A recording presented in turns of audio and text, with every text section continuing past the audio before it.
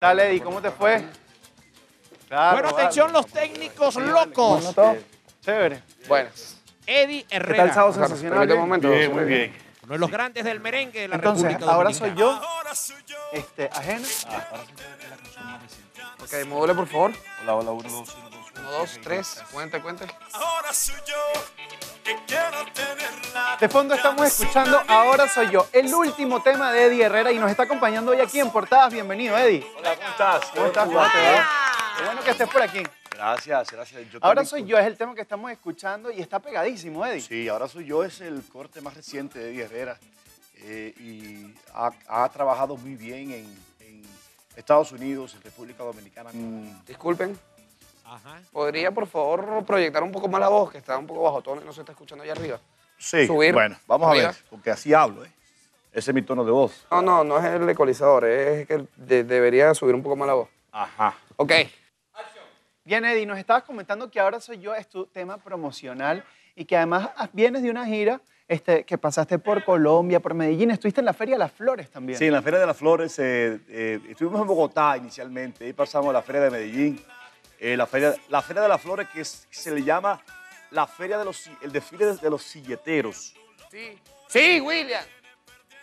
Ya, permíteme un momento, por favor, parece un momento. eh, creo que ahora está saturando. Jorge, pero no puedes Vamos a revisar el ecualizador. ¿Cómo? Que no puedes interrumpir tanto. Papi, ¿cómo hago? Tengo que parar la grabación. O sea, es William que me está... Sí, William. Es William que me está volviendo loco. Tengo que parar la grabación porque si no, entonces la cosa no sale bien. Entonces después no se escucha y hay que hacer todo al principio. Pero ¿y por qué no, no, no, no revisan eh, antes de, No, ya hacer- yo lo revisé. o Antes sea, de hacer la grabación, ¿por qué no prueban? Porque No, bueno, que de Esto eso es lo primera vez que me, pasa, porque yo, así yo hablo.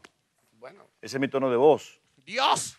Y yo pruebo, pero pasa que hablaste bajito No. primero y después ahora habla fuerte. ¿Qué hago? Por eso No, te digo. yo estoy hablando normal, Fuerte. normal, así. Bueno, No, estoy aquí, pero, tal cosa. Pero, o sea, es proyectar un poco, o sea, mantenerla a nivel, pues. No así, tampoco tanto, pero, o sea, a nivel, a nivel. No entiendo, de verdad. Ya que el, el operador de audio me está gritando. Sí, William. es que no entiendo eso, que me diga de que el uniforme, ¿qué es eso? Ajá. Creo que es una falta de respeto, déjame decirte. Ay, mamá. Perdóname. ¡No me grites, William! Uf. ¡No me grites! Chamo, pana, si no se puede grabar, brother. O sea, ¿qué culpa tengo yo que no sepa hablar este señor? Yo estoy tranquilo y tú andas con la ladilla. Dios. Pana, yo no me puedo seguir cargando gritos por culpa de la gente, bro, ni menos los tuyos. Y para la próxima, no grites así en mi oído. ¿eh? Sí, lo que pasa es que el operador de audio es una persona bastante... Mi trabajo depende del audio. ¿eh? Y la voceadera que usted hizo eh, en mi oído ahí, con esa, esa potencia que lo hizo, me puede afectar los oídos. Yo dependo de, de eso. Ok, entonces perdóneme usted a mí, pero... Y mira que tienes audio. oídos bien grandes. Parecen unas chuletas Bueno, humanas. Eddie, estás ahora en Venezuela compartiendo con un público que te quiere tanto y además con gente que has compartido mucho, porque en algún momento compartiste con Lija, ahora con los aviadores, pero queremos hablar de tus inicios. Sí.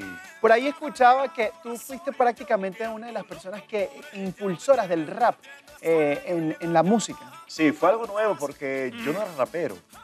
Estamos hablando de... del- Creador del rap con Eh, el de- jardinero. bueno, en Ajá. merengue sí, fue con la orquesta de Wilfrido Vargas, el- la canción El Jardinero. No sé cómo te atreves a decirme a mí, ¿qué no? Además Eh, mezclado con merengue. Sí. Y no siendo yo rapero, Dios, me puso a eso. la cebolla. Vargas tenía ese don, ese don de producir y de darle, y de sacarle el jugo. Pero yo no puedo creerlo. Ah, pues, ¿Otra vez? señor, Sí, otra vez. necesito arreglar la balita. Los técnicos locos. Pero, pero, pero, pero, un momento, un momento. Hemos Ya. iniciado, perdóname, hemos iniciado la, la entrevista en, tres- en cuatro veces. ocasiones. La tengo que editar además. O sea, esto no puede ser. Sí, bueno, vamos a lo que te estoy diciendo, vamos, déjame terminar de arreglar la balita para, o sea, para no interrumpir más.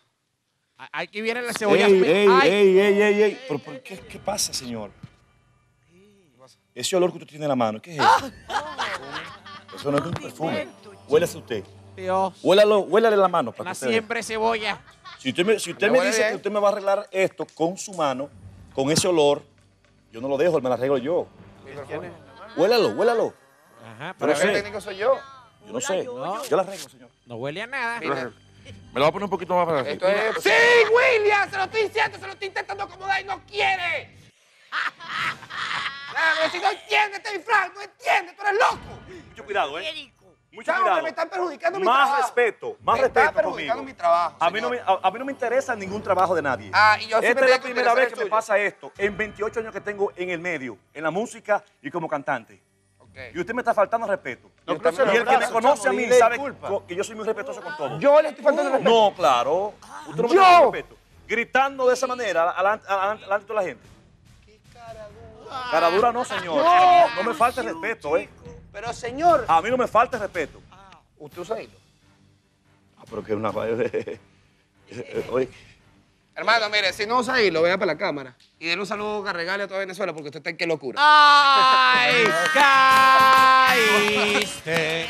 Vale, mira, tiene todas las cámaras ¿ya? Bueno, Eddie otra. Herrera, esta gran estrella dominicana para el mundo. Manda un saludo, disculpa. lo hiciste. ¿Pero usas o no usas hilo? Caíste, Esa era la buena pregunta. Oye, yo tengo, mucha, yo tengo una paciencia terrible, ¿eh? Una paciencia, gracias a Dios. Si yo no hubiera tenido la paciencia que tengo, ya yo creo que ya lo hubiera empujado para allá, le hubiera, no se lo hubiera pasado. Eh, y mira, lá- lávate la mano.